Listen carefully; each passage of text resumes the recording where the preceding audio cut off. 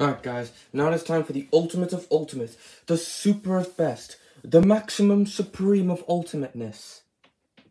Which Sonic is better? Yeah, which Sonic is better? The Sega Prize Europe Sonic or the Sonic X Gosh International Sonic? Now, here's the Sega Prize one.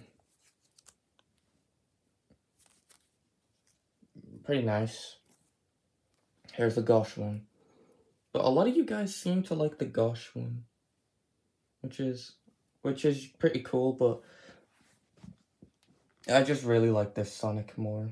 I, I like how his like hands are like more like and he's just more clean and his this is just like like like this is just the modern Sonic I needed, honestly, for videos. I I, I like I needed this modern Sonic. Yeah, this modern Sonic's pretty good. Also there's a few strings that came undone very easily, but I fixed that problem. With with this Sonic, it took years for the strings to get undone. Plus his glove getting ripped. You see that right there? There's a rip in his glove. I cannot have him rip anymore. So I'm gonna keep this as a collectible item right there on the hammock as a collectible item not to be seen or used in videos. This Sonic will be will be the Sonic you'll see in videos. I'm very sorry guys. I'm very extremely sorry that I can't use this anymore. But that's all. Yeah.